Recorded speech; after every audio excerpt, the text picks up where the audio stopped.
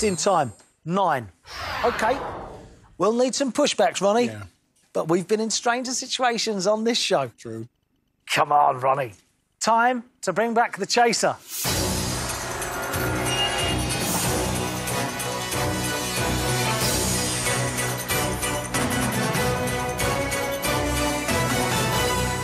Well, tough on your own, Beastie Boy. They didn't make it easy for you. You're on your own, and there were some snorters in there as well. Now, remember, if the Beast gets a question wrong and Ronnie gets it right, we push him back one step. It's time for the final chase.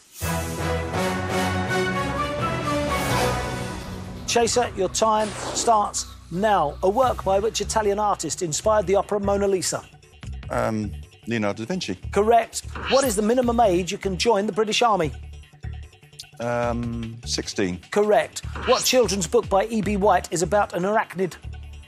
Um, Charlotte's Web. Correct. The Altai Mountains are on what continent? Asia. Correct. In 2003, Monty's Pass won what Aintree steeplechase? The Grand National. Correct. Uh, Graciano is a red variety of what fruit? Um, grape. Correct.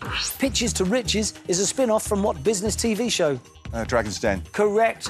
Cydonia is a region of what planet? Mars. Correct. Which Star Trek actor directed The Search for Spock? Uh, Leonard Nimoy. Correct. Clean sweep, nine on the bounce.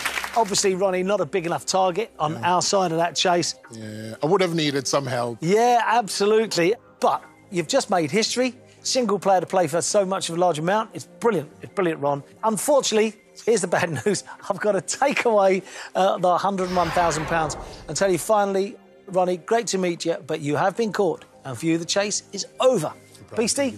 Normally I say it's all about the final chase, but here it's one question. Paula's question, that last step Yeah. American Psycho. Yeah. She knew it was Donald Trump. Yeah, she actually pressed it, who knows what the game would have been now? absolutely. Well, £101,000 goes into the thin air, folks. The Beast catches Ronnie with a minute and 15 seconds remaining. But history has been made here. I love this show. I really do. We'll see you next time on The Chase. Goodbye.